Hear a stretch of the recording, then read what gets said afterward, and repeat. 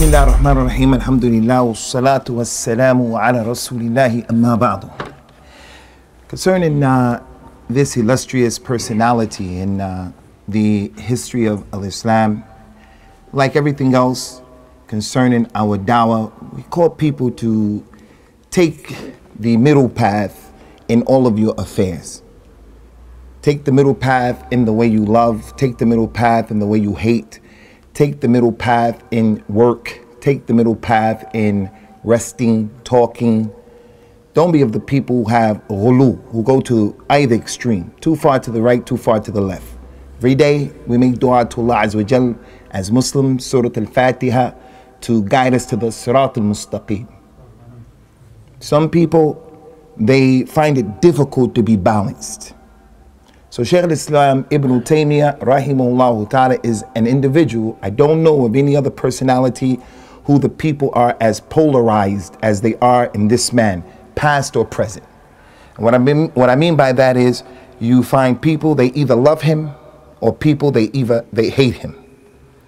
Those people who love him, usually people of the Sunnah, Al Hadith, I wouldn't say Ahl Sunnah because people have hijacked that name and they don't represent Ahl Sunnah, Ahlul Hadith.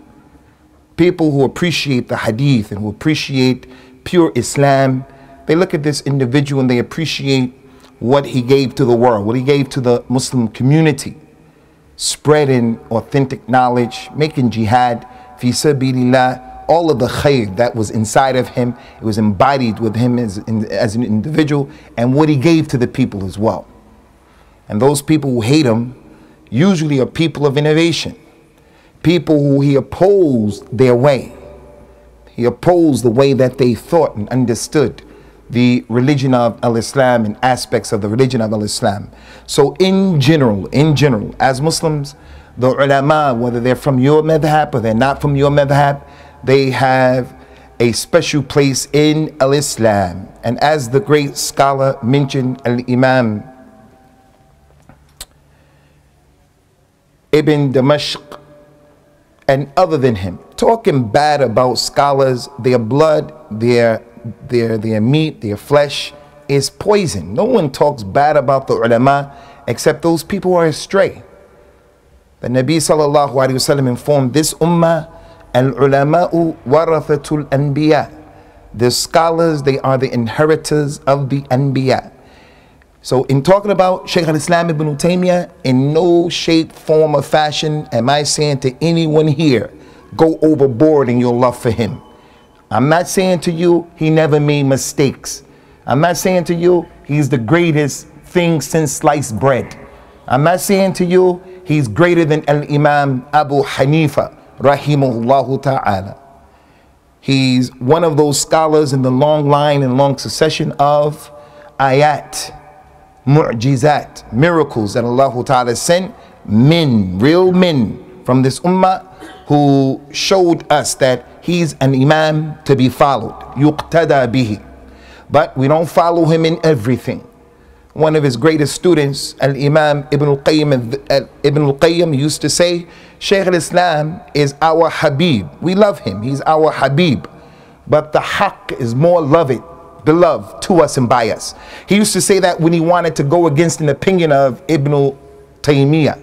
Whenever his student wanted to go against the opinion of his Shaykh, he would talk, he would write, he would say, Shaykh al Islam Ibn Taymiyyah is our Habib but the haqq is more beloved to us than him. And then he would tell his point of view about the issue, the mas'ala that he disagreed with his teacher. So everyone is allowed to differ with Ibn Taymiyyah and other than Ibn Taymiyyah. So in this introduction, the first point that I want to draw your attention to, this talk is not to make you a person trying to get you to believe in, buy into. Sheikh al-Islam Ibn Taymiyyah is the greatest human being He's bigger than the Nabi sallallahu alaihi wasallam. He's bigger than the companions. He's bigger than the four imams of the madhahib. That's not what I'm saying here today. I'm saying develop and have an appreciation for the ulama of al-Islam. And this one in particular, he's a tremendous scholar as you're going to see. Anyone who wants to read about a personality, this man, he broke the mold concerning those scholars who came later. His name is Ahmed His kunya is Abu al-Abbas. Abu al-Abbas. It's worth noting Sheikh al-Islam ibn Taymiyyah never got married to even have a child. So why did he take the name or the kunya al-Abbas, Abu al-Abbas? He followed the sunnah of the Nabi sallallahu alaihi wasallam. You, you, you, you. Even if you're not married, it is from the sunnah of the Nabi. An easy sunnah, easy. It doesn't cost you anything. It's like the beard. If you just leave it, you get rewarded for practicing this sunnah that's wajib. You don't have to do anything. If you cut it, you're making efforts to do sins. Just leaving it, you're going to get rewarded because that's what the Nabi did. That's what he ordered to do. Taking a, uh, the kunya, that's the sunnah, doesn't cost you anything. You're not even married. You say, if I get married, I'm going to call my son Abdullah, Ahmed, Bilal, Ukasha. If you do that, that's reward in that. Like our mother Aisha radiallahu anha. She never had any children, but her kunya was Umm Abdullah. So Shaykh al-Islam ibn Taymiyyah, his kunya was Abu Abbas, and he never got married.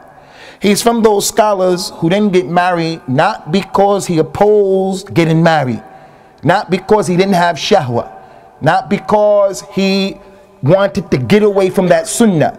The Nabi sallallahu alaihi wasallam says that he married women and anyone who opposes the sunnah is not from him. Shaykh al-Islam ibn Taymiyyah, that wasn't his point. One of the main reasons he didn't get married, as you're going to see inshallah, the man was always in prison. His whole life was filled with one fitna after the next one, after the next one, after the next one, after the next one. Controversial. Fitna upon fitna. Another reason why he didn't get married, when he wasn't in prison, he was out making jihad, fi sabilillah. He wasn't sitting in the masjid writing and teaching only. He used to go out and he used to fight people. Some of the ulama who didn't get married, great scholars in Al-Islam, Al-Imam An-Nawawi, An-Nawawi who wrote the 40 hadith of An-Nawawiyah, those hadith, that man never got married. And Imam al-Suyuti never got married.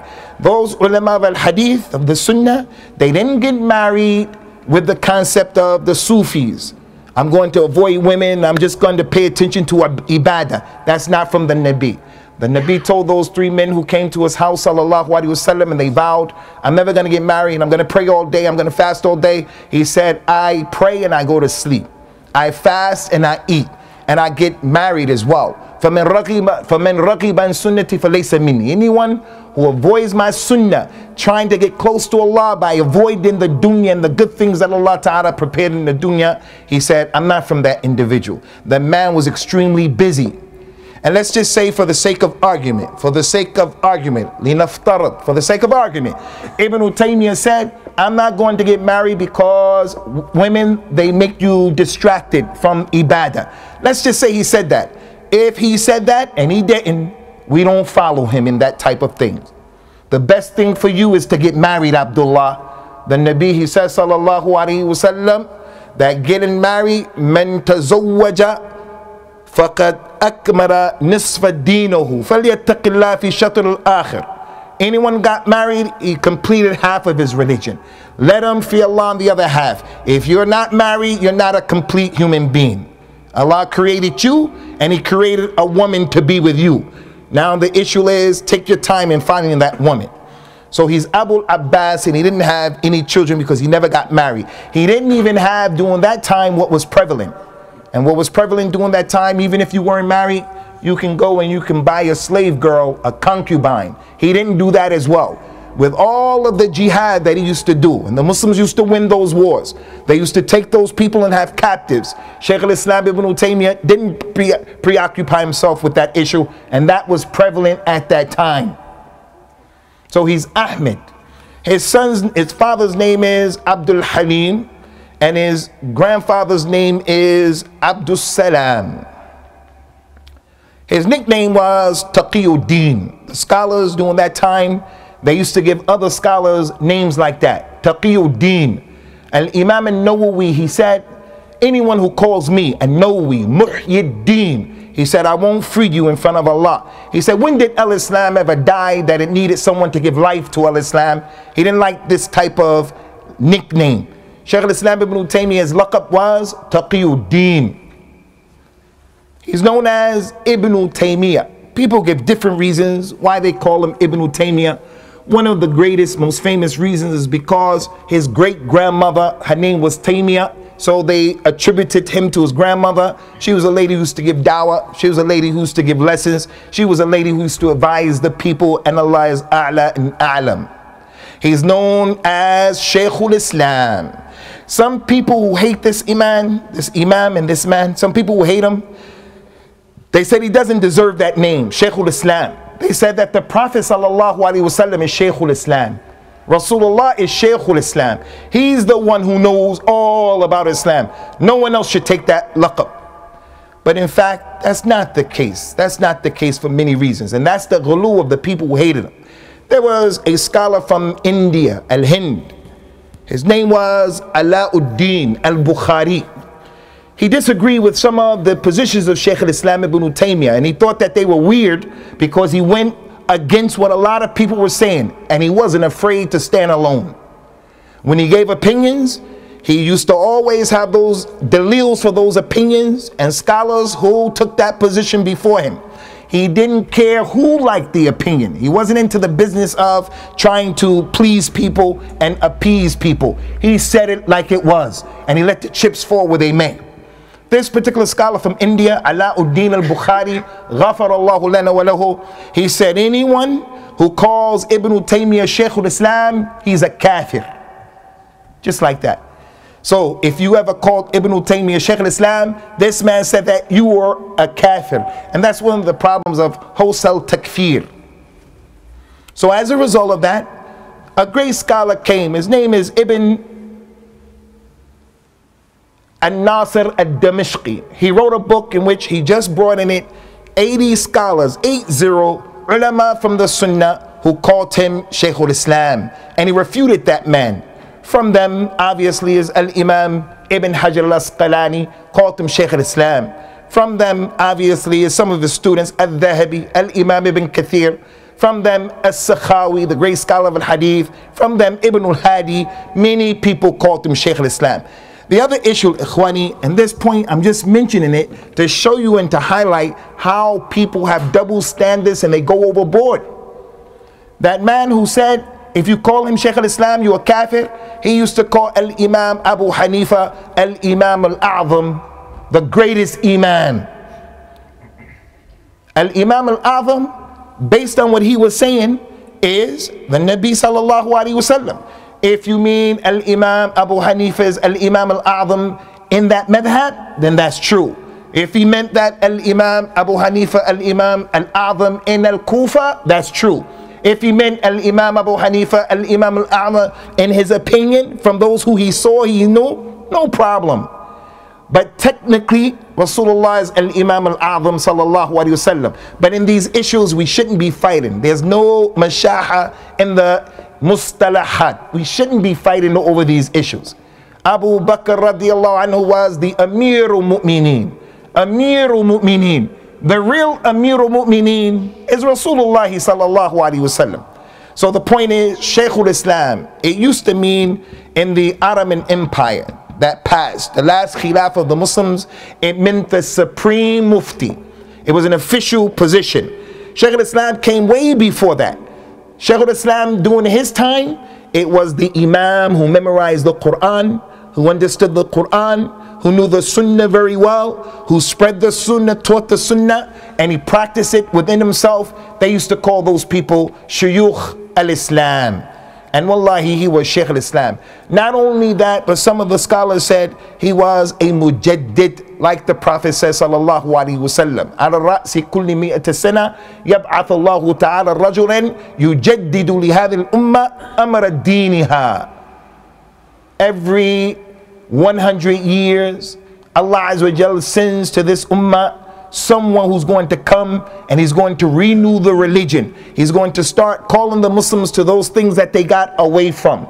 He's from those people, inshallah ta'ala. Shaykh al-Islam ibn Taymiyyah, he was born in 661 and he died in 728. So he died when he was 68 years old, 67 years old.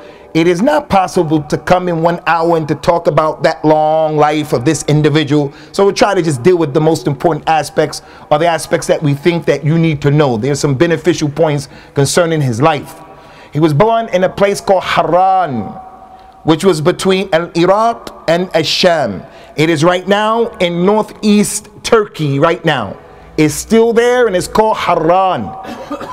After reaching the age of five, his parents, his father, they made hijrah with them because of the Tatars. The Tatars, they came on the Muslims and they decimated the Muslims and they began to destroy the Islamic empire and they came to Asham where Sheikh al-Islam ibn Taymiyyah and his family were, where they were and the father ran away trying to protect his religion and the religion of his family. So he took them to Syria, to Asham, to Damascus. His father, as I told you, Abdul Halim was a scholar of fiqh, a scholar of hadith. They used to call him Shihab ad-Din. His grandfather was a big scholar in al-Islam. Not a small scholar, a big scholar in al-Islam. His name, as I mentioned to you already, was Abdul Salam. They used to call him Majduddin, Abu Barakat. For the students from amongst you, one of the best books in fiqh is far away from the madhab and being muta'assib like Fiqh Sunnah. That book, Fiqh Sunnah, it's a book that tells you what to do and how to do it without forcing you to be on any madhab. Just what the Quran says, what the Hadith says, and you follow that. His grandfather, Abu Barakat, he wrote a book called Muntaqa al-Akhbar. Al-Imam al-Shawkani came. Hamid ibn Ali al-Shawkani. He came and he explained the book of the grandfather of Ibn Taymiyyah and he called it Nailul Awtar, one of the best books of fiqh in the dunya. And all of the dunya, Nailul Awtar. What's that book, Nailul Awtar? As Shawkani came, he took the book of the grandfather of Shaykh al-Islam ibn Taymiyyah, Muntaqa al-Akhbar, and he explained those hadith he explained those hadith. And that Nailul Awtar is a dalil that Shaykh al-Islam ibn Taymiyyah came from a family of knowledge. He had a number of brothers. One brother was Abdul Rahman, a scholar. Another brother, Abdullah, a scholar. Abdullah told the people a lot about Shaykh al-Islam ibn Taymiyyah's brother. One of the things he said about him, he had the ability to write in one day between Dhuhr and Asr what a normal man would write in a week or in a month. He said that he used to write so fast that when he would return to his, what he wrote, he didn't have the ability to understand, to understand what he write, what he wrote because his writing was bad. Now pay attention to this. I know a family, one of the subjects that we take in school and we continue to take in school our children is how to write, penmanship. They said that Ibn Taymiyyah wrote so bad, his writing was so atrocious that even he couldn't understand what he wrote. Was an indication if your child doesn't write very well, it doesn't mean he's stupid. Doesn't mean that he's dumb. Shaykh al-Islam ibn Taymiyyah was abkari. Abkari. He was one of those people was a genius and he was barely able to write his own handwriting.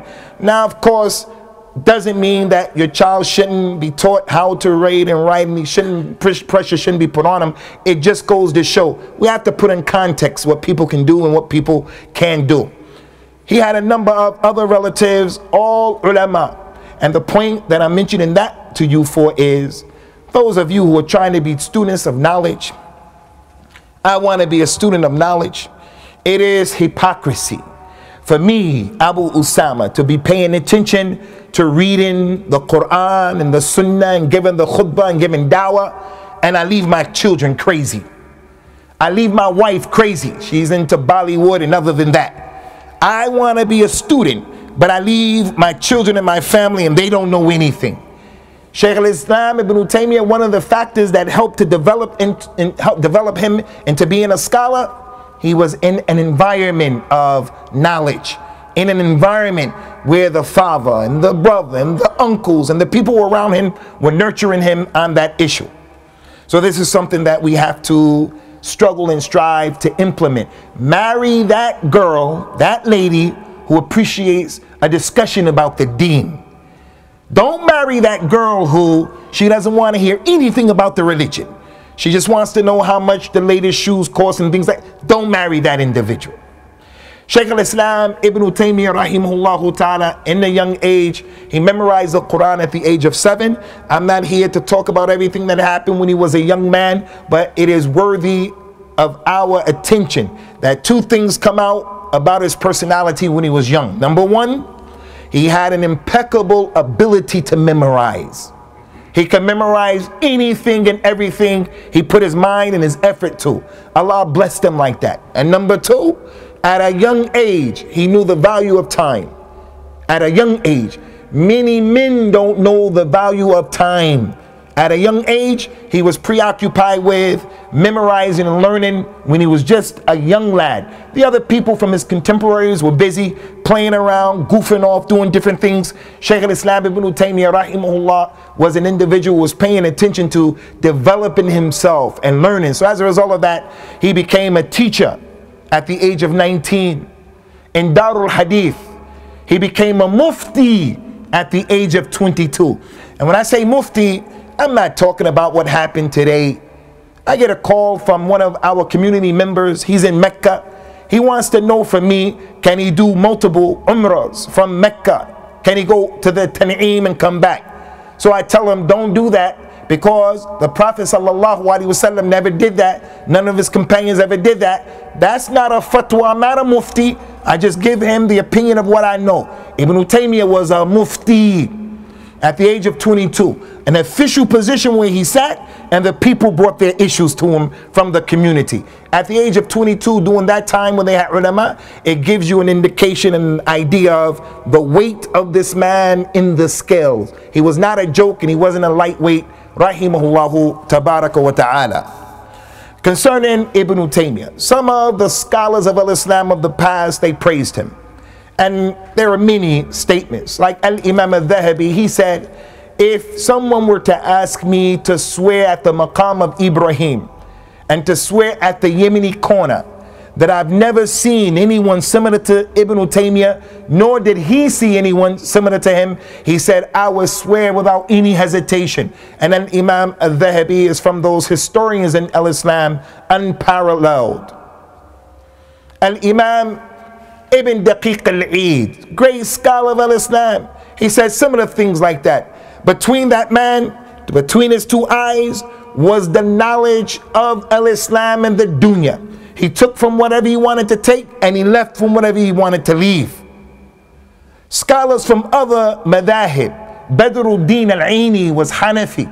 He said, Ibn Taymiyyah, this particular man, he knew the knowledge of the other madahib more than the people of those madahib. He was a marja, a point of reference for the Muslims. And many people said other things. And why is that important? What the scholars say about someone is more important than what the Ammatanna say. I have an agenda, so I say that this individual, he is this and he's that and he's this. It. But who am I? That's my opinion. As it relates to me, it's important. But as it relates to the reality of the situation, it's not really that important. Shaykh al-Islam was praised left, right, and center by the ulama during his time and the ulama after him. So don't listen to the people who he doesn't know his elbow from his ankle bone in al-Islam. And he comes with his opinion. Shaykh al-Islam is a kafir. Concerning Shaykh al-Islam ibn Taymiyyah, rahimahullah ta'ala, he had a status and a distinction that Allah Ta'ala blessed him with, but he blessed him with this status, status and distinction for many reasons. Just want to name a few. Why did he surpass Al-Imam al-Dhahabi, Al-Imam ibn Kathir, why did he surpass all of those people during his time? Why is he the one? If I were to ask the people here, Al Imam al Sakhawi, who was he? Many people never heard of him. Why do we know Ibn Taymiyyah and we don't know As Sakhawi? Why? There are many factors and many reasons that set him apart from the people. At the top of the list, the knowledge of the man. If Shaykh al Islam ibn Taymiyyah gave a fatwa, if he wrote a book, if he gave a class, if he gave a khutbah, the people who listened to the knowledge that emanated from him and that came from him, regardless of their madhab, they said, This man right here, he knows what he's talking about. If the scholar sat in his class or attended a session in which he started talking, that scholar was said, This man knows what he's talking about.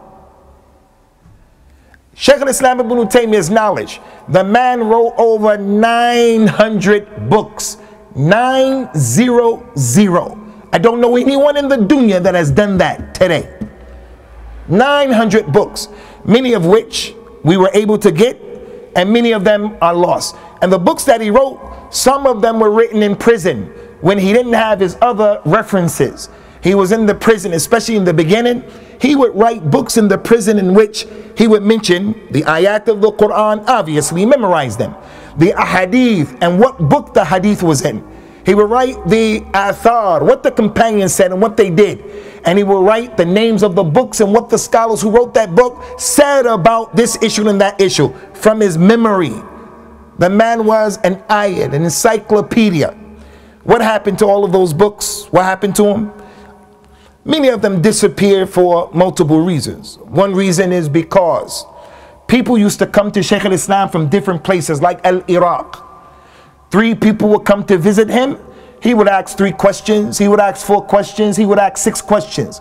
Ibn Taymiyyah would answer and they would write the thing down. Those three people would take what he wrote and they went back to Iraq. The book is gone. And that happened a lot. When the student realized that this was happening, they said, Hey, Imam, let us start writing these things down. And he said, Okay. But many of his books, they left in that way. Another reason, the Tatars, the Tatars, they were criminals, they were monsters. When they started to attack the Muslims and the Muslim empire, they destroyed many of the books not only of Ibn Taymiyyah, but many ulama of that time and before that time. And al-Baghdad, the Tatars, they took so many books of the Muslims, threw them in the Euphrates rivers, in the Euphrates river, and the ink from the river became, made the water become blue. They did the same thing throughout the Muslim empire. They wanted to erase and eradicate all of the knowledge of al-Islam. Wa hayhat hayhat. The Imam read the ayah today, يُرِيدُونَ أَن يُطْفِئُوا نُورَ اللَّهِ بِأَفْوَاهِهِمْ They want to extinguish the light of Allah by blowing it out, by making these kinds of efforts. But Allah Ta'ala is going to complete His light. He completes His light how? By giving the Ummah people like Ibn Taymiyyah and other than that. Rahimahullah Ta'ala. Ironically, another reason why his books used to, they were lost, some of his enemies some of his enemies would go to people who had his books and purchase from him the book. This is how much people hated this man. The hatred that is not natural and it's not healthy. To hate an individual to the degree where you lose your ability and your sense to be fair and just. That's how they were. They would purchase the book and they would destroy the book. Trying to do away with the knowledge of the man. As a result of his knowledge, his pristine knowledge, his sharp mind, Allah Azza caused him to rise above his contemporaries, rahimahullah ta'ala. Another reason why the Imam has distinction is his ibadah, ikhwani. Right now, in this class, right now, this class that I'm giving right now for me, and this class that you're listening to right now, is better than making jihad in the month of Ramadan. I want to repeat that. It's better than making jihad in the month of Ramadan. It's better than reading the Taraweeh in the month of Ramadan. It's better than sitting down memorizing the Quran in the month of Ramadan. The Nabi, he says, sallallahu alayhi wa sallam, ما من أيام العمل الصالح فيهن أحب الله من هذه الآيات قيل يا رسول الله ولا الجهاد في سبيل الله قال صلى الله عليه وسلم ولا الجهاد في سبيل الله إلا الرجل خرج بماله ونفسه ثم لم يرجع بذلك بشيء He said there are no days in which the good deeds are done in those days that are better and more beloved to Allah than these 10 days that we are in right now, the Hijjah. The companion said, Ya Rasulullah, what about making jihad in another month? In Ramadan. What about if a person made jihad in Ramadan and the person here today, he makes the dhikr after the salah? Which one is better? The Nabi said doing the good deeds in these days is better than jihad in any other month. Unless the person in another month went out to make jihad and he was killed. He got an istishhad. Now that person is better. So the point here, the point here is, These are the 10 days of Dhul Hijjah. The question is, who fasted these days from amongst us? The question is, after the salat, who is the person from amongst us who can say, I pray Sunnah prayer before and after each and every prayer where there's a Sunnah prayer? Who from amongst us can say, in these days after the salat, I made the dhikr for every salat or most of the salat? Who can say, since these 10 days, Maghrib, since these days began, I didn't miss a single prayer in the masjid? All of these things that I'm asking you right now, they were adi to Ibn Taymiyyah. They were just natural. It was a part of who he was. He was a person of ibadah. The great scholar from his students, Al-Imam Ibn al-Qayyim, he said, Ibn Taymiyyah told him when he asked him, why do you make the dhikr so much? We see you and you make dhikr in a way we don't see it with anyone else. And he used to try to hide to make the dhikr. But there are just some things you can't hide. Like being in the masjid making dhikr. It's the sunnah. Stay there and make the dhikr. You can't help it. Why do you make dhikr so much? He said, Rahimahullah ta'ala, he said to me, the dhikr is like the water is to the fish. If you take the fish out of the water, what's going to happen to the fish? He said the fish is going to perish. Ibn al-Qayyim said, I prayed Fajr one day in his masjid because Ibn al-Qayyim was the imam who used to pray in another masjid. He had a beautiful recitation. They said, Ibn al-Qayyim, if you came into his dars, just hang your heart up at the door because he was going to take your heart and captivate you. He said to his sheikh, I prayed with him one day. He prayed Fajr and he sat there and made dhikr until midday. He said after he was about to get up, he said to Ibn al-Qayyim, this dhikr that I make from Fajr time to midday, it is my morning meal. If I didn't do it, I find that my body becomes weak. Who from amongst us? This is our way of ibadah. You find Shaykh al-Islam ibn Taymiyyah being a man who made isti'ana billah. He only sought help from Allah. All of those problems that he had, the people would be nervous from his students. Oh, we're all going to jail. We're all going to prison. They used to come to Ibn Taymiyyah and they said when we came to him, he would calm us down as if he had no worry in the world. He used to make it istighatha billah, asking Allah to give him the growth, give him the help, and so forth and so on. If an issue came to him about a mas'ala, he couldn't figure it out, it was difficult. He said, I will make istighfar up to a thousand times. After the istighfar, Allah will open to me the mas'ala. The point, ikhwani, is the man was a sahib of ibadah. In as-salafiyah, ahlul hadith, those scholars, and Ibn Taymiyyah was from them, they were people who, they had kalam. But they weren't people who were just about kalam. They weren't just about kalam. The kalam is important. The man came and said, Ya Rasulullah, tell me something that I can only ask of you.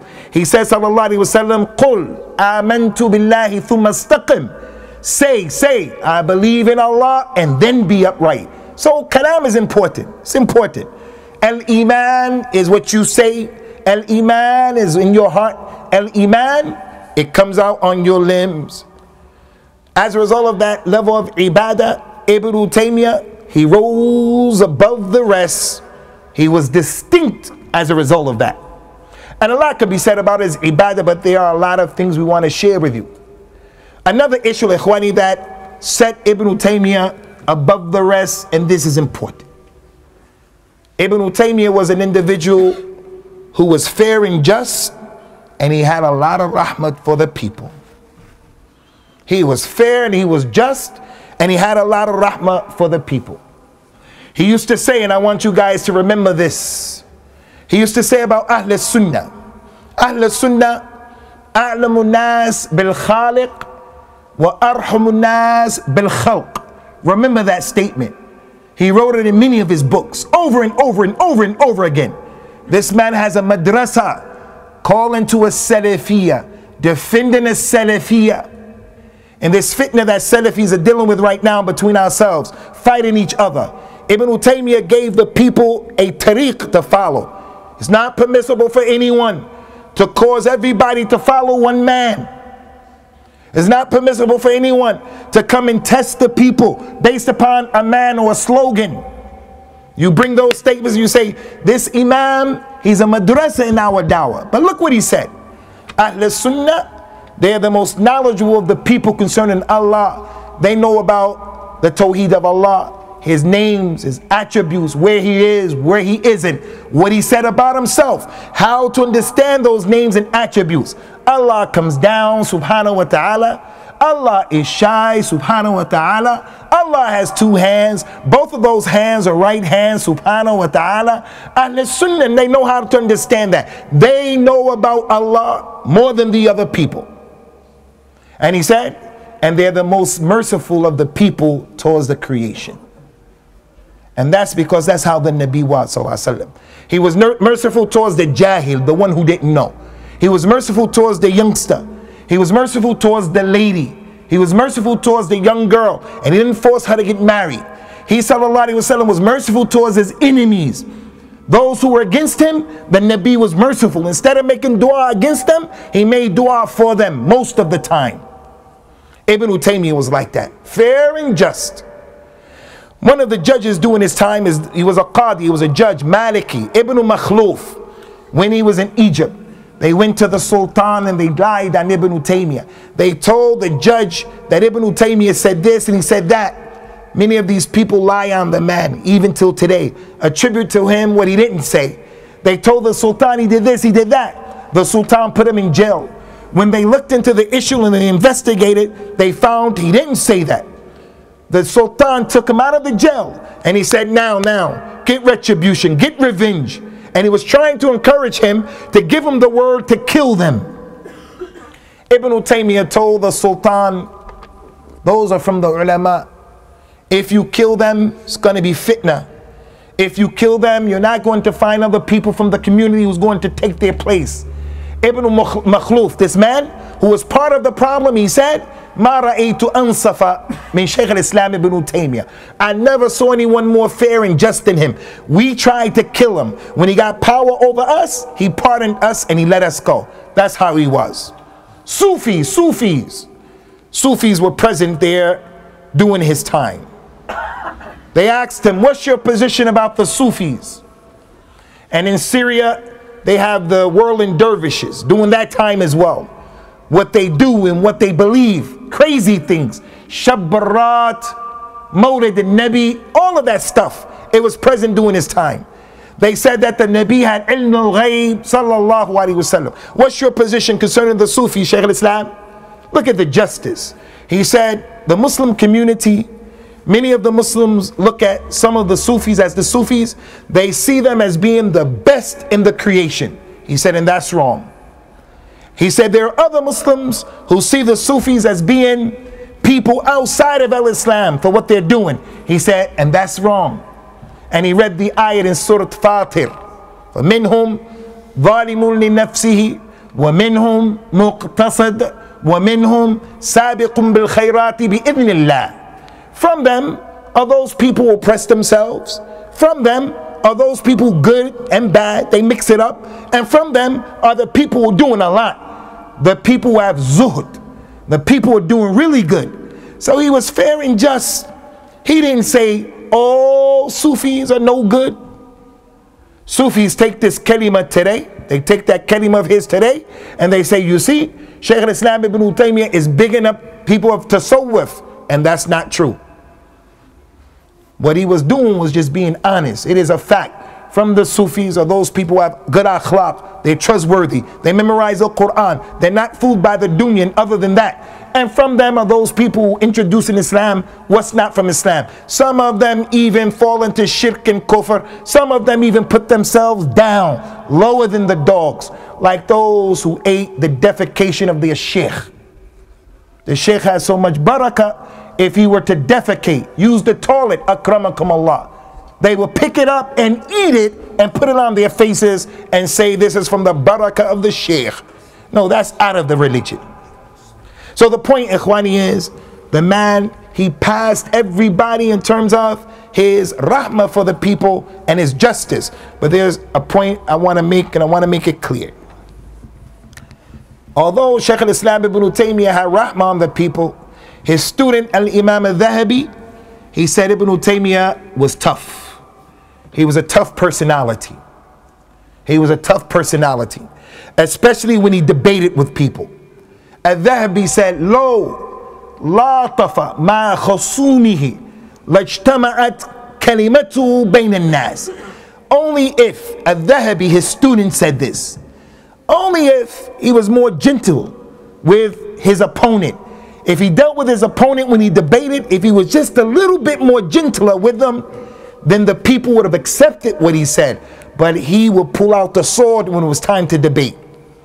الذهبي said about his personality كان سريع الغضب وكانت فيه حدة he used to get angry quickly and he had some toughness in his personality he said but but he used to يصبر نفسه he used to make himself become sabir some of us some of us we get really upset with our wives really really upset you know who I'm talking about I'm at the top of the list. Really upset. It's natural with some people. Some people naturally not like that. Some people, they take the sword out and they say and they react to that anger. Ibn Taymiyyah al-Dhahabi said was an individual who would get upset. But when he got upset, he didn't execute that anger. He would force himself to be gentle. Now, I don't mention that to put him down, and I don't mention that to talk bad about him, and I don't mention that to show how great I am that I can take this out. I mention that in the same vein and the same light that we mentioned about an Imam Abu Hanifa rahimahullah ta'ala. The scholars who said that he fell into some issues shows that he's a human being rahimahullah ta'ala and Ibn Taymiyyah is a human being as well. So he used to tell his students, when I get upset with the opponent, I get upset because of my ghira, my jealousy for the sunnah. But don't take that from my personality. He used to tell them, don't take that from my personality. Rahimahullah ta'ala. Shaykh al-Islam Ibn Taymiyyah, may Allah subhanahu wa ta'ala have mercy upon him had a number of issues with people who were close to him. One of the great scholars of that time, his kunya was Abu Hayyan al-Andalusi. He was like the Sibawayh of that time.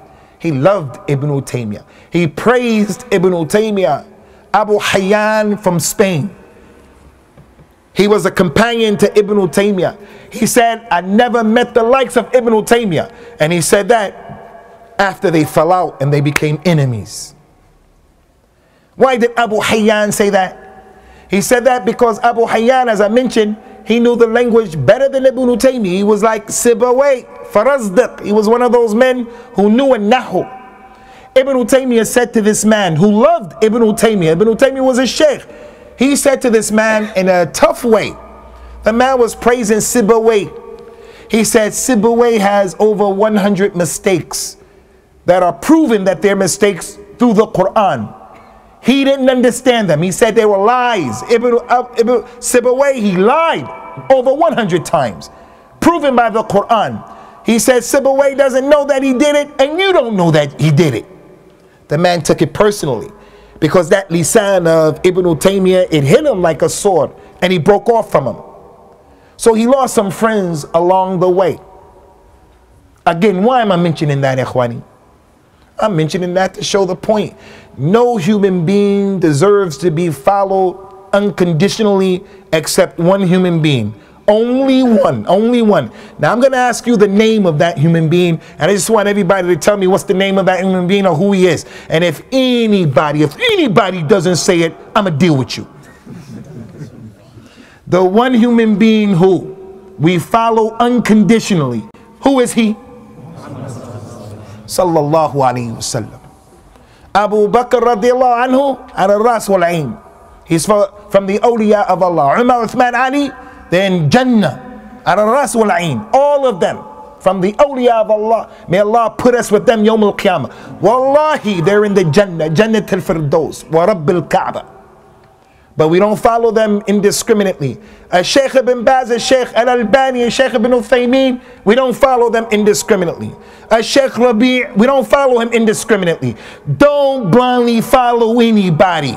And don't be one of those people who says, I'm with the Imam. Wherever he goes, I go. He going to the hell, I'll go to the hell. Blind following is another issue. It's another issue but it's not from the way of Ahl Sunnah, it's not from the way of Ahl Hadith, it's from the way of the Yahud and the Nasara and the Mushrikeen.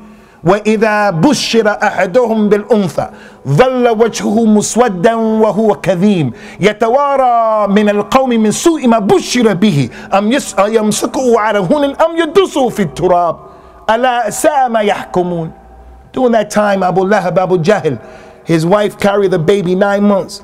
They have the baby, a baby girl. The people come and say, Abu Lahab, Abu Jahl, your wife had a baby girl. When they hear it, their face become black out of, out of being embarrassed. And he starts to hide from the people in the street. He doesn't want his friend and his uncle and his relatives to see him because he had a baby girl. And then he starts to think to himself, should I take this baby and should I bury it alive or should I keep it and be low in the dirt? And then Allah said, what an evil decision they made. What would they decide to do? They would dig a hole and throw the girl in the hole and put the dirt on the hole. That's a taqleed.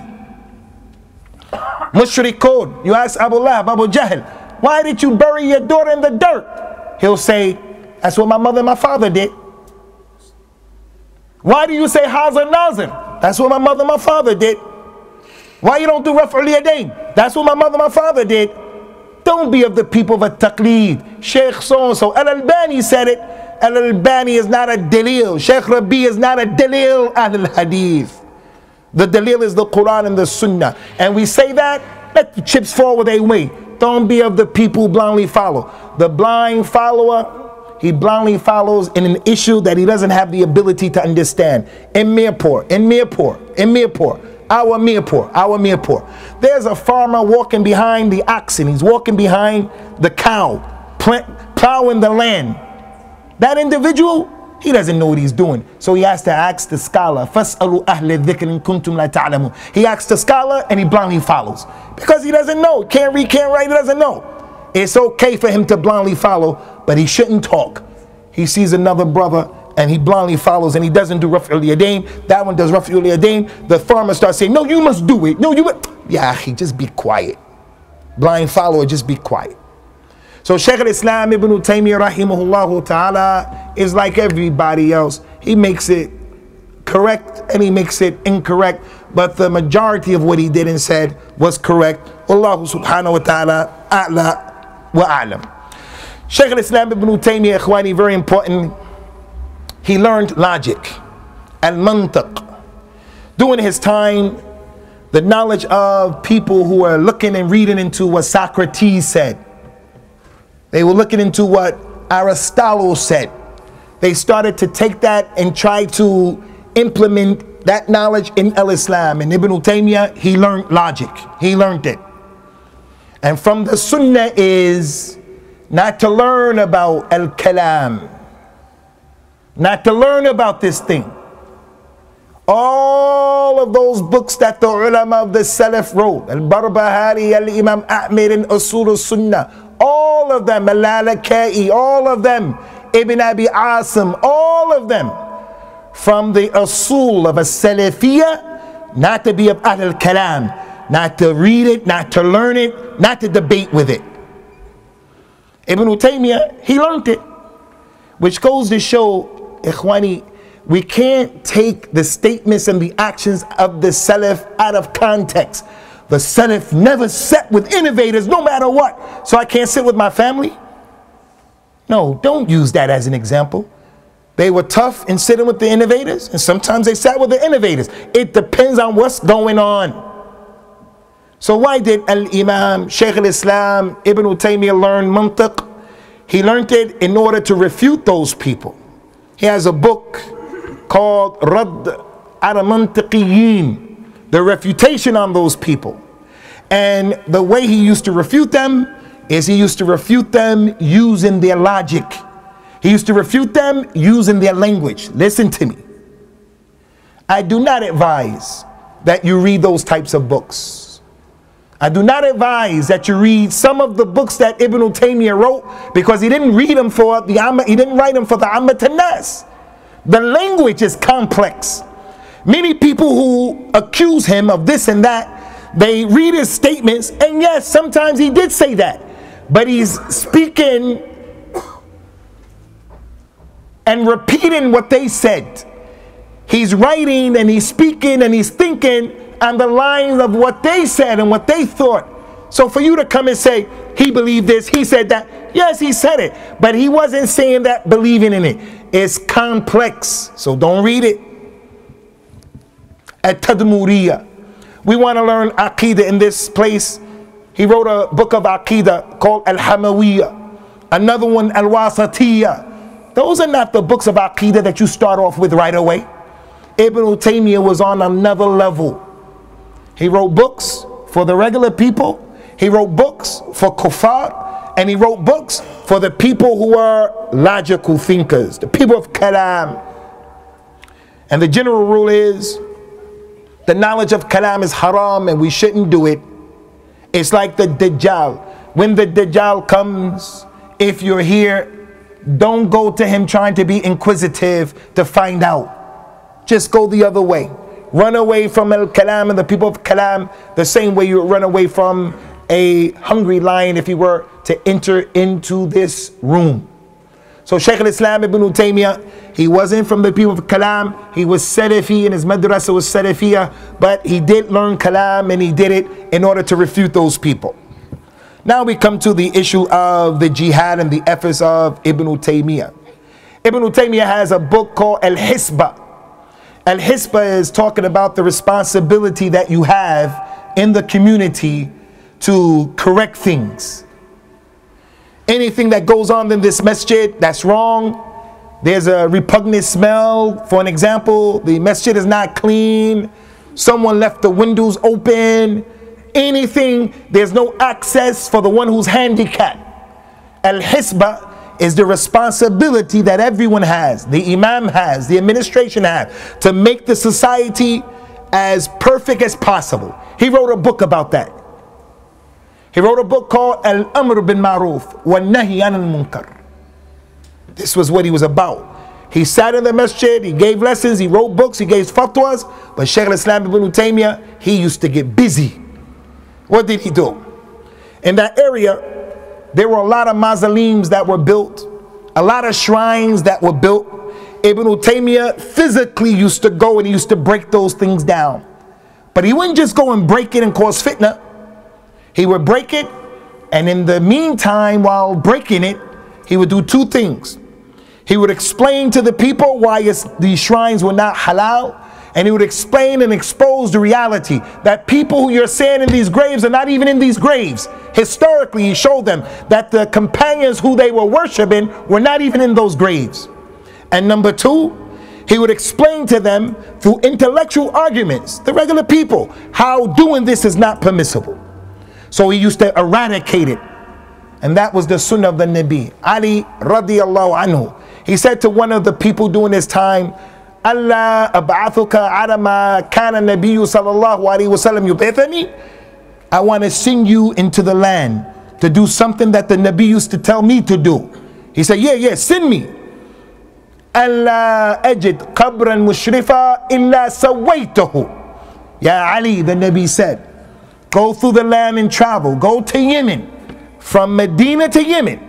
And as you travel, any grave, any grave that you see built above the ground, make it equal to the ground. That's the sunnah. And also, Adi, any picture that you see, then deface it. Statue, pictures, break the arm, break the head, cover it over. Ali, when he traveled, that's what he did. It's the sunnah. But when Ibn Taymiyyah did this, Amr bin Maruf, Nahm Munkar, he didn't do it in a way that caused fitna. Another thing, Ibn Taymiyyah used to get with his students and other than them, because there were Ahlul Kitab in the area, there was a lot of khamr going on. And the Muslims were drinking and getting high. Ibn Taymiyyah used to go to those taverns and he used to break up the wine glasses and he used to order the people not to do that. And the people were happy as a result of that. The man was always busy with Al-Amr bin Maruf and Al-Nahi al-Munkar. In our masjid, people of the Sunnah, in this masjid, we come to the masjid and we find that the saf, the saf in front of us, it's not connected. There's space We're not taken care of. We're not feet to feet. Just a small issue. And the person of the sunnah doesn't say anything. He doesn't have to give the khutbah. He doesn't have to give the lesson, but he should have some love for the ghira. This is a masjid of Ahlul Hadith. And the meaning of Ahlul Hadith, the people love the Hadith. Not a masjid, we're this and they're Barelvis, we're this, they're Deobandis. Not, not that. Ahlul Hadith meaning, in this place, if someone came from China and he was on the Sunnah, when he came into this masjid, he smelt the aroma of the Sunnah. He saw the way the Imam read, the way the people were. This is a masjid of Ahlul Hadith, and nobody had to tell him that just by what he saw in the masjid. Al Hisba and Al Amr bil Ma'ruf and Al Nahi and Al Munkar. Another issue is Ibn Taymiyyah used to give dawah to those Christians and those Jews in that area. That's a special area for all of the three groups of human beings Muslims, Christians, and Jews. It's the area where many prophets and Anbiya and Rasul were, salawatullahi wassalamu alayhi. He wrote a book called Al Jawab Al Sahih baddala din al Masih. The true word and the true answer to those and for those who changed the word of Isa Maryam. He wrote to the king of Cyprus, showing him how Christianity wasn't real. He used to write to the Jews and the monks and the priests, encouraging them to come to Islam, exposing their falsehood that they put in the Torah and the Injil and what they believed in. The man was busy. That's why he didn't get married. As for the jihad of Ibn Taymiyyah, Ibn Taymiyyah, Ikhwani used to speak against the rulers. He used to speak out against the rulers, but he didn't do it in public. People like the takfiri way, people who make takfir, they like to take Ibn Taymiyyah's statements and actions and they use them out of context to make khuruj and to make takfir of people. Ibn Taymiyyah wasn't a mukaffir. He said things to the rulers, but he didn't say it in public. He didn't say it in the khutbah. He did what the Nabi said, the sunnah. من أراد أن ينصح ذا السلطان فليأخذه بيدي وليخلو به فإن قبل منه فبه والنعمة وإن لم يقبل فقد أدى ما كان عليه Anyone who wants to advise the one in position of leadership, let him take him by the hand and let him seclude himself with that individual and then let him advise him. If he takes it, you did what's on you. If he rejects it, then it's not your problem my wife, your wife, she better not come in front of my friends while we're eating and she comes inside or behind the door and she says, Hey brothers, Abu Sam is the leader and the imam in this house. He did this and he did that and he did that. You people do good. If she did that, it's going to be a problem. Because I'm the imam and you're the imam and you're not going to accept that from her because it's wrong. You're sitting at the table. You're sitting right here. Your wife is there, three kids there, three kids there, and the wife starts to say to you, Hey, you did this and you did that in front of the kid. You're going to say, Hey, hey, hey, what are you doing? She has to talk to you and her alone. The imam, the administration in this masjid, you don't get up in front of the people and you talk like that. That's the sunnah. Like it who like it, hate it who hate it. That's what the Nabi said. Ibn Taymiyyah used to do that. Also, he waged war. He fought against the Tatars and he fought many times against them. And he used to explain to the Muslim rulers why it was wajib to fight against them. And he spent a lot of time fighting against them. And he was an example when it came to fighting. Ibn Taymiyyah fought against the Christians who were in Sham. They expelled the Christians during his time. He was there fighting that jihad. Ibn Taymiyyah fought against the Rafida. You know the Rafida of Syria right now. Hassan Nasrallah from Hezbollah. Lahu min Allahi ma yastahiq. Don't get twisted and fooled by the mirage in Iran or other than Iran. Those people have never helped Islam and they will never help Islam. How in the world can a Muslim think that a person who curses Abu Bakr and Umar radiallahu anhu are trying to help al-Islam? How is that? Hassan Nasrallah from Hezbollah, when he talks, just say kadhab because he's lying. Ibn Taymiyyah fought against his group, the Alawiyin and the Nusayriyin. They believe that Ali is Allah reincarnated. He fought against them with the Muslims and drove them up into the mountains. So he was a mujahid fi sabilillah. And one of the jihads that he had to deal with, Ikhwani, was the jihads that came as a result of the books that he wrote and the positions that he said. And we almost finished here, although we still have quite a bit to go. Ibn Taymiyyah, look at the fitna, Ikhwani, look at the fitna. Look at the fitna. And this is just a few of the things. Look at the fitna. Inshallah, after we finish this talk, every time I come to Huddersfield, the brothers always feed me from this restaurant. They make this chicken with some aluminum foil around it and it has some chicken stuff, some rice stuffed in it. You guys know what I'm talking about? Some place you have the chicken in aluminum foil and rice is inside of it. I love it. You just got to get all of the aluminum foil off of the skin because if it get in your tooth, it's a problem. Ibn Taymiyyah didn't have those luxuries. Look at this. Fitting of Ibn Taymiyyah. In the year 698, he was 37 years old. He wrote a book, Al Hamawiyah, about the Aqeedah of Ahl Sunnah. Big fitna, they wanted to kill him as a result of a book that he wrote. Hey, don't kill me. Let's just come to the marketplace of open ideas and have a discussion. Why do you want to kill me? But that's how much people hate you when you don't see it their way. I don't see that man as being an innovator. You understand? I don't see that particular group as being innovators. I don't see it. As a result of that, I'm a kafir. As a result of that, I'm a mubtadi. Yeah, what's wrong with you? What are you talking about? Because I don't agree with you, you don't agree with me, we don't speak anymore. So when he wrote that book, Al Hamawiyah, there was an explosion.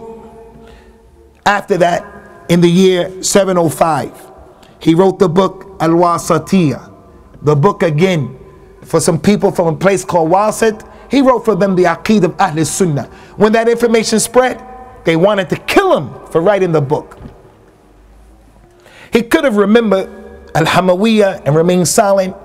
But the people came to him and asked him a question. He wrote a book for them. Here's the book, Aqidah of the Ahl Sunnah, Al Hadith. Take the book. They wanted to kill him. At this time, his name started to spread as being a person who was an enemy of khurafat and shirk and bid'ah. So the people said, we have to do something to this man, something with this man. So they called him to Egypt. From Asham, he went to Egypt in the year 705 after writing the Wasatiyah, they put Sheikh al-Islam ibn Taymiyyah in prison for 18 months. Just because he wrote a book, Qala Allah, Qala Rasulullah sallallahu alayhi wasallam. 18 months. He left his country. The Sultan said, come. He went to Egypt. When he arrived in Egypt, they put him in prison for almost two years just for writing a book about the Aqidah of al-Islam. He got out of prison after being in the prison for 18 months. When he got out of the prison, they say, you have to go, you can't live here in Cairo, you have to go and live in Alexandria. When he went in Alexandria in the, in the year 709, they imprisoned him there again for eight months. Why? Why? Because of the same book. They say, you weren't in prison long enough. Now that you're here, we're going to put you back in prison for eight more months, making it more than two years and he had already did his time. He was in a prison. After that, Sheikh al-Islam ibn Taymiyyah came out. They put him in prison again in the year 720. He was 59 years old. They put him in prison just because of some verdicts that he gave. Fatwas. Where the dalil was with him. Pay attention to this because this is a recurring issue. A man says to his wife, the way people think you divorced a lady is to say, you're divorced, you're divorced, you're divorced. We think that's the right way of getting divorced. That's the wrong way of divorce. If the man wants to divorce his lady, just say you're divorced at the right time and that's it. Now this is not a class about divorce, but the four madhabs. Ibn Taymiyyah was Hanbali and he was a mujtahid in that madhab. So for the one who comes and says it's a bid'ah to have a madhab, that's a problem. Many scholars before us, they had madhabs. If there was a Hanafi scholar in Huddersfield, he knew what he was doing and he was on the Sunnah. And when the Quran and the Sunnah came and the Madhab went against it, he pushed it on the side, like Abu Ja'far al-Tahawi used to do, like Ali al-Qari used to do, and they were Hanafi. If he was like that, I would say go and learn from that man. It's just a systematic way of learning your religion, that's all. In those four madhabs, Hanafi, Maliki, Shafi, Hanbali, all four of them say, if you divorce your wife, you're divorced, you're divorced, you're divorced. They said it's irrevocable. That's in every madhab. Ibn Taymiyyah said, no, I don't agree with that.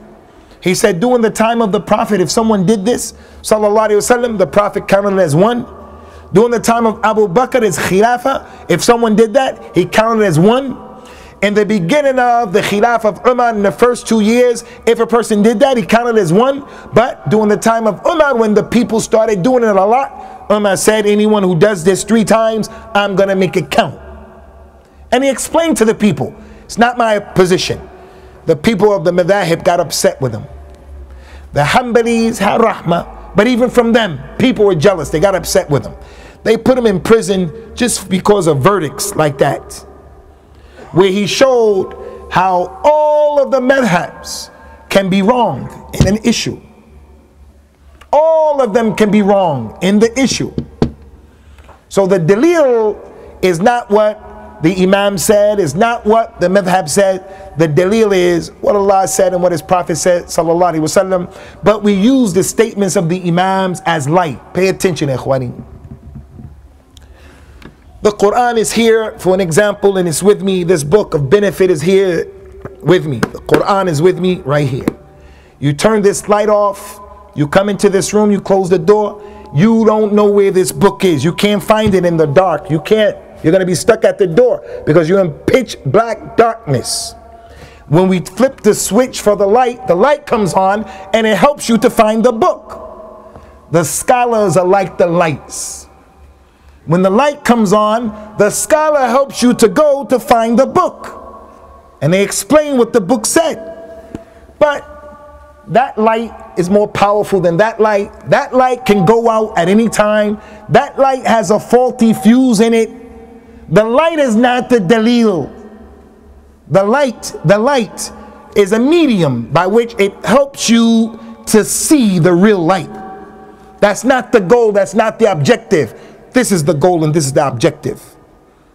So Ibn Taymiyyah was trying to teach the people that point and he used to get in trouble as a result of it. Rahimahullahu ta'ala. Lastly, he went to prison because he banned the people from traveling to Al-Medina with the niyyah of going to see the Nabi sallallahu alaihi wasallam. He banned the people from traveling throughout the world with the niyyah of going to a grave or a shrine. He said this is not permissible, even for the Nabi sallallahu wasallam. Because of the hadith that's authentic. No one should make an effort to go and travel to see these things, these masajid, these places, except three masjids. So he explained why he took that position. The people said he doesn't love Rasulullah sallallahu alaihi wasallam. We heard that kalam before. Because he said that, they put him in prison. And that was in 726 he stayed in prison for two years. 728, he died. And look at the time that he died.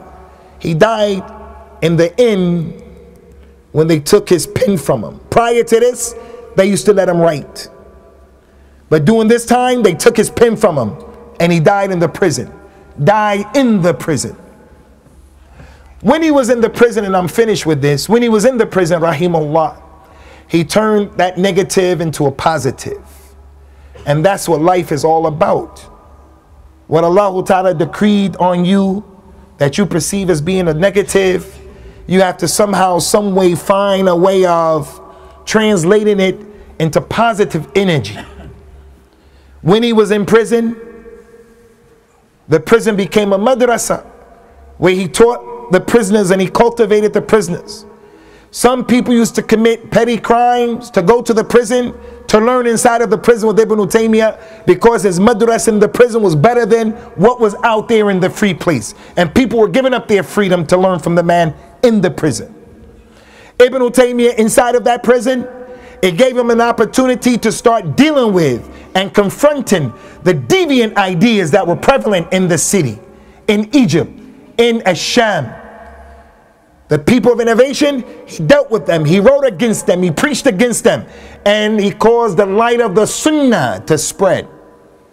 Ibn Taymiyyah rahimahullah ta'ala he came out of the prison once and he wrote his mother, he said, I'm going to stay in Egypt and I'm not coming back to Sham because my presence here in Egypt with what's going on is more benefit than going back to that area. So the point is, asa an yuhibbu shay'an wa huwa sharrun lakum. It may be that you like something is bad for you. It may be that you hate something is good for you. He used to take all of those issues and he made it an example for us to follow and to learn from. As I told you in the beginning, Shaykhul Islam during his time, the one who knows the Quran, he knows the Sunnah, he calls to it, he defends it, he spreads it, he teaches it, and he's an Imam to be followed. He was an Imam to be followed in these types of issues. Don't give up hope. The Sunnah is going to spread, but it needs people who have the commitment to try to make it spread. Don't be afraid of the people. From the students of Sheikh al-Islam ibn Taymiyyah, and if we just mention one student, his students by themselves is enough to show the goodness of Ibn Taymiyyah, just a student, like Ibn Qayyim, Ibn Kathir, Ibn Daqiq al-Eid, Ibn Rajab al-Hanbali. These men, they were mountains of knowledge. Al-Imam al-Mizzi, he was Amir al-Mu'mineen in Hadith. Ibn Taymiyyah was a sheikh, but he was stronger than Ibn Taymiyyah in Hadith. He was Amir al-Mu'mineen in Hadith during that time. Ibn Abdul Hadi, Ibn Muflih, all of these people and other than them were students that this man helped to develop. And as I said, he was a madrasa. Just like Al-Imam Ahmed is a madrasa. After him, Ibn, Ibn Taymiyyah came, a madrasa of Salafiyah. After Ibn Taymiyyah came, Muhammad ibn Abdul Wahhab. And Muhammad ibn Abdul Wahhab, Ikhwani, is nowhere near Ibn Taymiyyah in knowledge. And Ibn Taymiyyah is nowhere near Al Imam Ahmed in knowledge because the time difference between them and the way life was and the way scholastic aptitude was at that time. But nonetheless, they are Imams of our dawah who we should come to know about, we should learn about. And I don't know any days better than these days to make that presentation. So we ask Allah Azza to cause Al-Imam Ibn Taymiyyah inshallah ta'ala to be in his grave with nur and rahmah and that Allah Azza wa help us to be those people who carry that legacy that he and those other ulama of Ahl al-Hadith were upon in terms of defending and spreading and supporting the sunnah in a balanced way. A Salafi in a balanced way. Not the people are too rough and too tough, and not the people who are apologetic and acquiesce. And for those of you who don't know, a Salafiyah is just understanding the Quran and the Sunnah and taking it and embracing it the way those companions understood it. How they understood the Quran, how they understood the Hadith, how they worshipped Allah, what they did and what they didn't. That's a Salafiyah.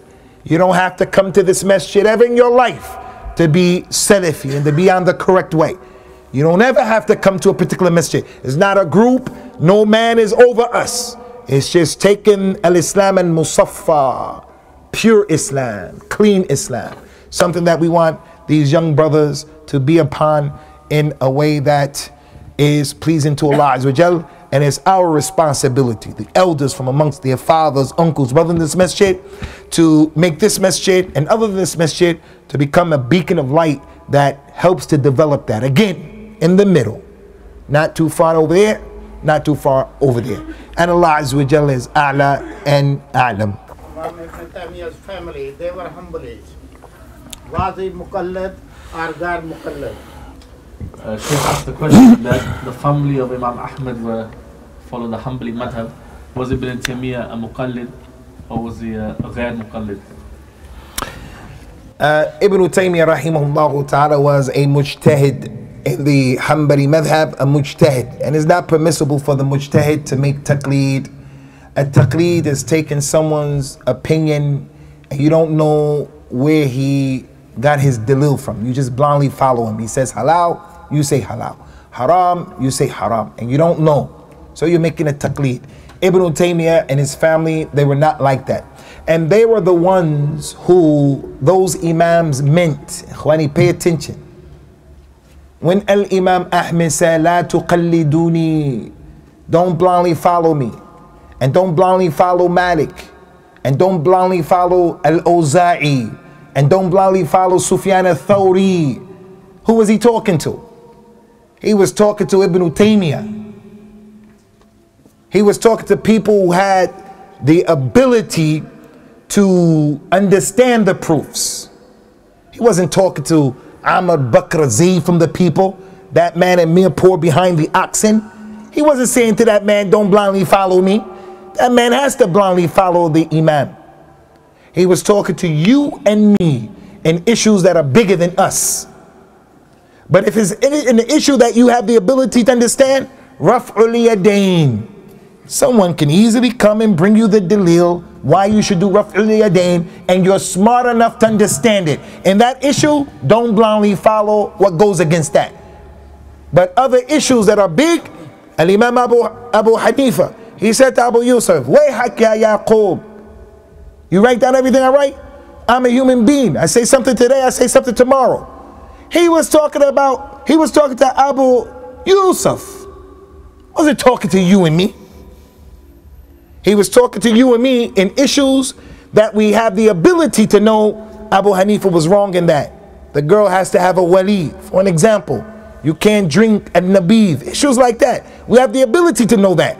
But issues that are too big for you, you have to. I have to blindly follow when we don't know because the issue is too big. It's too big for you. This house, I want to get it on mortgage. Can I do it? Can I not do it? I'm in this situation. Can I do it? Can I not do it?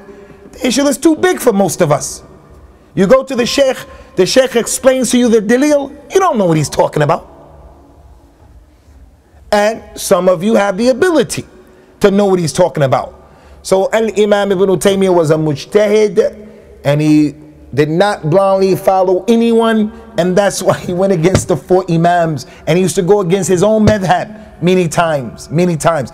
And look at this, Ikhwani. He had around him people who were on different madhabs, like Ibn Kathir was Shafi'i, and he used to love Ibn Taymiyyah, and Ibn Taymiyyah loved him. And the fact that they had different madhabs didn't sour or destroy the relationship. So his family were not muqallideen. But some of us, we have to be muqallid because we don't know. And when you make taqlid, you do it and be quiet. Don't argue about the point because you're ignorant. You don't know. You just blindly follow you you follow someone who you trust. So you have to go to the Imam of the Sunnah. Don't blindly follow the one of Bid'ah and Shirk and Khurafat. Don't do that. Make sure he's a person of the Sunnah. And then you blindly follow him in that particular issue that's too big for you. Uh, take a written question, inshallah, then another question from the floor. A uh, question here says that who were the Mujassima and was Ibn, Ibn Taymiyyah one of them? The mujassima ikhwani comes from the word ajassim, which means the body, the body, the body. They have some big word in English. I can never pronounce it. How do you pronounce that word? Uh, Anthropophorism. How do you pronounce it? Yeah, this thing. It's it's from what the Jahmiyyah said and the people of innovation. Allah Azza He described himself as having certain characteristics. He said to Iblis, Ma mana'aka an tasjuda lima khalaqtu biyadayya. What prevented you, Iblis, from bowing down to the one that I created with my two hands? Allah Ta'ala has two hands and both of those hands are right hands. The Nabi said, Sallallahu Alaihi Wasallam, Inna quluba bani Adam bayna usbi'i rahman yuqallibuha kayfa yasha. The hearts of the sons of Adam are between the two fingers of Ar-Rahman. He changes it the way he wants to. Allah Ta'ala described himself as having certain characteristics. Yawm al-Qiyamah, he will say to the Jahannam, Halim talat, are you filled up? The Jahannam will say, Hal min is there anyone, anyone any more to come? Because Allah promised He's going to fill up the Jahannam with people. So He said, are you filled? They say, any more to come? And then it will be no more. The Jahannam will say, cut, cut, that's it. And then Allah will put his foot over the hellfire. Sahih al-Bukhari. Ahl Sunnah, Ibn Taymiyyah, one of the Imams of Ahl Sunnah, Al Imam Abu Hanifa, Al Imam Malik, Al Imam Ahmed, Al Imam Shafi, our ulama, forget the other people, our ulama are of the opinion that these attributes, when they come to us, we believe in them. We don't ask how, we don't ask why. We say the reality of it is with Allah. He knows, we don't know. We believe in it, but we don't ask how and why. No forward. We say Allah knows how and all of that, but we believe in it, that's it. So he wasn't from those people. Allah Ta'ala speaks. وَكَلَّمَ اللَّهُ مُوسَى تَكْلِيمًا Verily Allah spoke to Musa with speech. A person comes, the logical people, the mantiqiyin that Ibn Taymiyyah refuted. They come and they say, well, every person who I know, if he speaks, he must have a tongue, he has to have teeth, he has to have a voice box, he has to have a larynx, and on and on. The companions didn't say that. That's said here the bin Mas'ud said, Qif haythuma waqaf al Stop where the companions stop.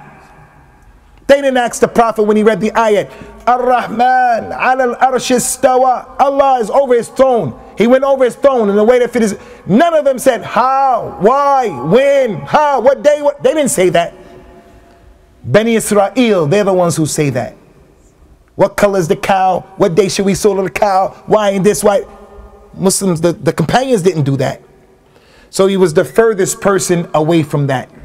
ليس كمثله شيء وهو السميع البصير لم يكن له كفوا أحد هل تعلم له سميا None is like unto Allah. None. Nobody. Do you know that he has someone similar to him? So we establish these things and we leave it just like that. Like it who likes it, hate it who hate it. Like it who like it, hate it who hate it. And don't waste your time debating with these people. Al Imam Malik, when the people used to come to him, the man would say, Hey, I want to debate you about one of these issues. And Imam Malik would do multiple things. Sometimes he would put his finger in his ears and he would say, As for me, I know my religion. Go look for someone who's in doubt like you and debate him.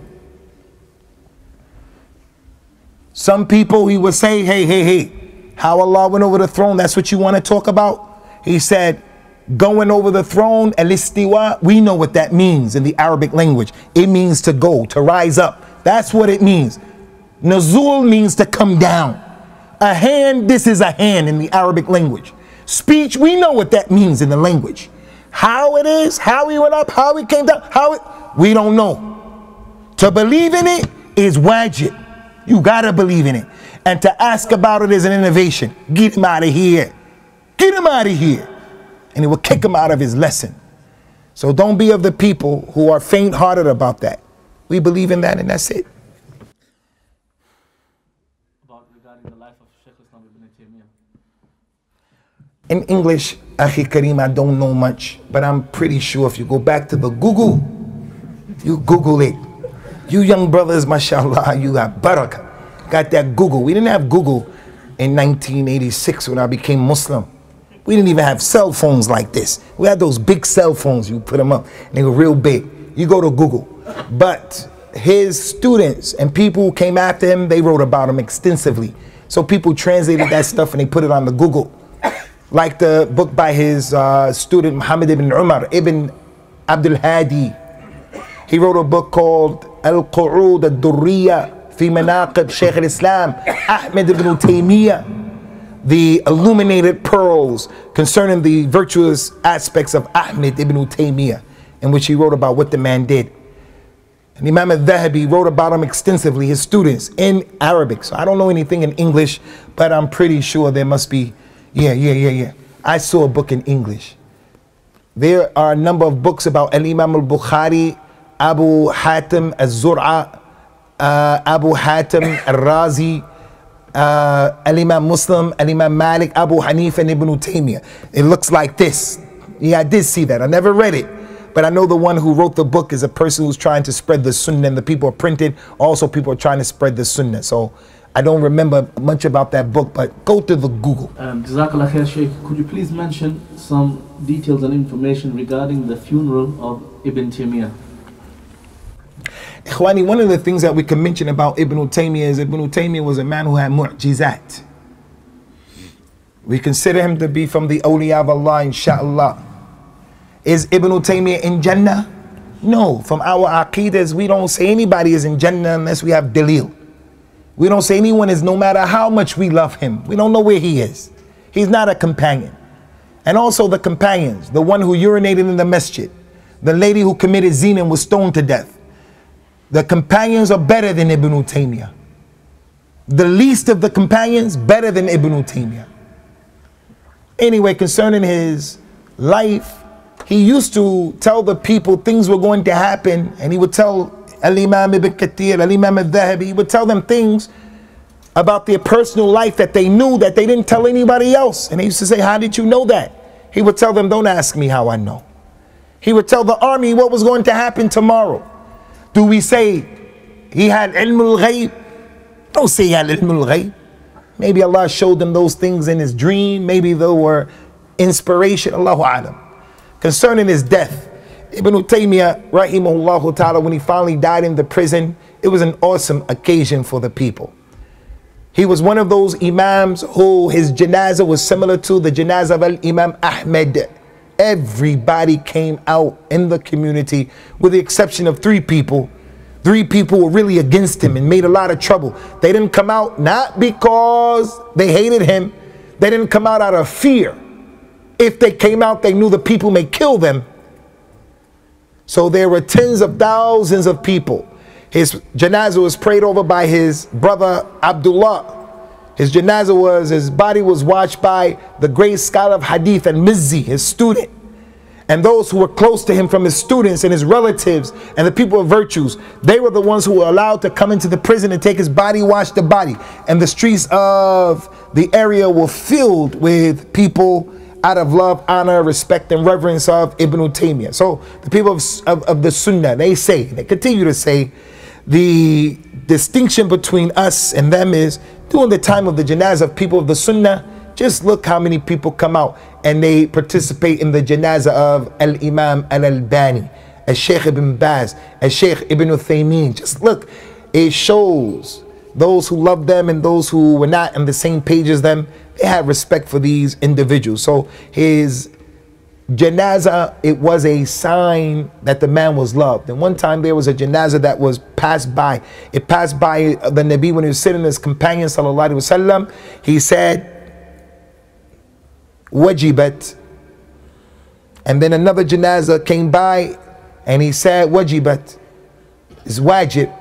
The companion said, Why did you say that two times, Ya Rasulullah? He said, The first people who came by, the first janazah, you people spoke well about that individual.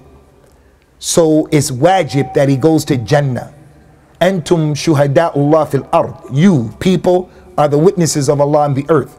And the second man that came by, you speak people spoke bad. What a bad guy is. He owed us money, smoking crack, he doing that, he doing that. You say he's a bad guy. He says he's wajib, he's going to go to the hellfire. Because you people are the witnesses of Allah in the earth. So when all of those people came out to witness his janazah, it's a bushra. It's one of the signs of a good khatima. A person who dies and he has sweat on his forehead, it's a sign of a good khatima. A person who dies right after doing a good deed, it's a sign. He died at Ramadan, he died at Hajj, he died after Hajj. A person who died from a stomach ailment, he drowned, the wall fell on him, he burned, she died in childbirth, it's a good sign. The person died on Friday, it's a good sign. One of the signs of a good khatima is that the people spoke well. The Nabi told the people, sallallahu alaihi wasallam, if 40 people of Tawheed pray on your janazah, they're going to make intercession. Another hadith said 100. He has 70,000 people. From them ulama, tulab, students of hadith and ilm and fiqh and tawheed. And I still can't sit here and say, Wallahi, he's in Jannah. I don't know if he's in Jannah. But I can narju, we hope that he is in Jannah. Question from the floor, yes, What was Sheikh Ibn Taymiyyah Rahimullah's position with regards to the Mawlid? Because those who celebrate it say that he said that if one does it with love and good intention, it wouldn't be considered a bid'ah. Brother asked the question that what was the position of Shaykh al-Islam Ibn Taymiyyah regarding the Mawlid because the claimants of the Mawlid they say that Ibn Taymiyyah said if a person does it with good intention he will be rewarded. Allahu A'lam, akhi. I can't say for sure. I feel that this is something that I read somewhere. I feel that this is some truthfulness to it. But I can't speak with knowledge, with clarity. But even if he said it, the dalil is not Ibn Taymiyyah said. Ibn Taymiyyah has a book, Ikhwani, it's called Iqtida Sarat al-Mustaqim fi Mukhalifati Ashab al-Jahim. Being different from the kuffar. The book is just about the importance of Muslims being different from non-Muslims. He talks about the beard and he talks about how you dress. He talked about the Arabic language in that book, and this is a point. In the book is a section, the importance of the Arabic language. He said if two people know Arabic language and they all and they also have their own language that they speak in, they have their own mother tongue, they should speak in Arabic language because Arabic language, Allah chose it divinely to make the Quran and His Nabi in that language. So it develops and it creates some akhlaq. In talking about the virtues of the Arabs and the Arabic language in that book, Ibn Taymiyyah brought weak hadith. And he was a muhaddith. He brought hadith like the language of the people of Jannah is Arabic. That's not authentic. He brought that hadith in that book. A number of weak hadith. Rahimahullah. I'm not mentioning that because I'm better than Ibn Taymiyyah. Ibn Taymiyyah, he had a minhaj and mentioning those hadith. The point is, Ibn Taymiyyah, if he takes a position, we have to look at the dalil. And if he said that the Mawlid was okay because of this and that and this and that, that's his point of view. He's a scholar, he's a mujtahid. But we say, if the Mawlid was permissible, the first 100 years would have did it. The second 100 years would have did it. The third 100 years would have did it. The Muslims would not have waited until 400 years to start doing this Mawlid and to realize it was good. And if it was good, the people would have done it before us. They would have proceeded from the best of these generations. So the dalil of the people who said it's not permissible is stronger than the dalil of the people who say you can do it. Not only him, Suyuti said that you can do it, Sakhawi said that you can do it, other great scholars, and that's why we have to stay balanced. We respect the ulama, but the ulama, that is not the goal and the objective. The goal and the objective is the haqq, the Quran, the Sunnah, the dalil. I read this years ago. He said Allah will reward them for their niyyah and love of the Prophet ﷺ, but not the action. That's his exact statement. Yeah, I read something similar that um, what Shaykh al-Islam Ibn Taymiyyah actually said was they'll be rewarded for their ikhlas, but they'll get punished for doing the act of bid'ah. Good. Allah- شكرا لكم Sheikh Al-Taf Sensei Shafiq Um, and his daughter is named Tamia and actually Ikhwani, some of the scholars said that the correct way of pronouncing his name is Taymiyah with a shadda on the ya. Many people make it with takhfif and they say Taymiyah. The correct way is Taymiyah. But that's what we're used to so that's what everyone says. No problem. We're not going to fight over those issues. Um, is it true that Ibn Taymiyyah said that on the day of judgment the Prophet will sit next to Allah on the throne? I don't know that he said that, but I doubt it very seriously that he says something like that, rahimahullah ta'ala. And if he did say something like that, it's rejected. It's rejected. And another thing, there's a scholar who's bigger than Ibn Taymiyyah who said something like that. And he was none other than the Tabi Mujahid. Mujahid learned the Quran ikhwani from Abdullah ibn Abbas 13 times, 1 3. Mujahid said, I learned the Quran from Ibn Abbas 13 times.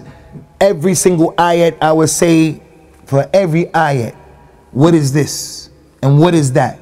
And what is this? So the great scholar of Islam who had his own madhab, bigger than the four madhabs, Al-Imam Sufyan al-Thawri. Al-Imam Sufyan al-Thawri said, if the tafsir of Mujahid comes to you, take it.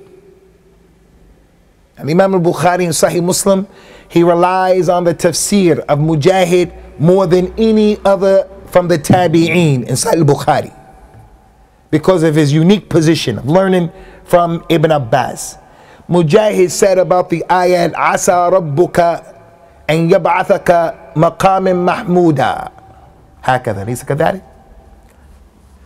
Ayat of the Quran about the maqam al-mahmud. it may be that Allah is going to give you, Ya Muhammad, your Lord, a maqam mahmud, yawm al-qiyamah. Some of the scholars said that the maqam al-mahmud, it is the physical place in the Jannat al-Firdaus that's only for the Nabi sallallahu alaihi wasallam. Aisha is going to be close to him. He says sallallahu alaihi wasallam, "Ana wa kafil yatim kahatini fil jannah." I will be like this with the one who takes care of an orphan, and he separated his fingers. The companion narrated the hadith. He didn't say like that, because no one's going to be like this.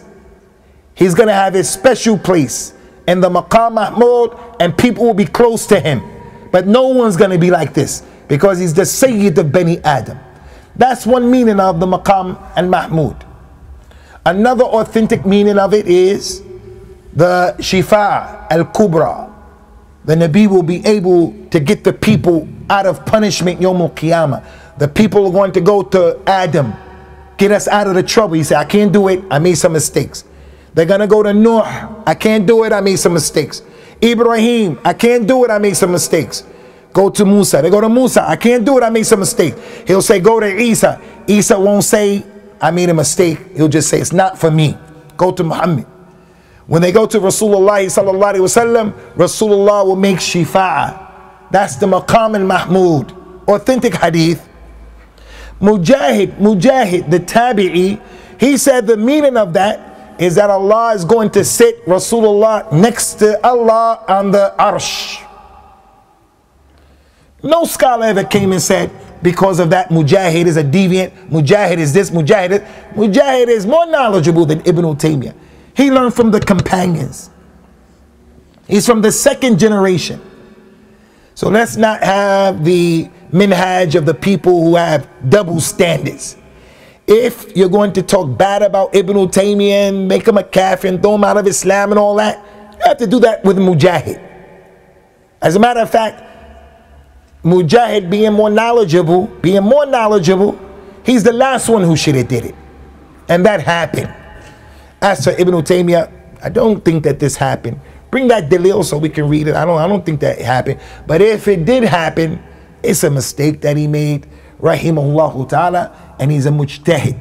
He gets a reward when he makes a mistake, and he gets two rewards when he gets it right because he's from the ulama. قل هل يستوي الذين يعلمون والذين لا يعلمون they're not equal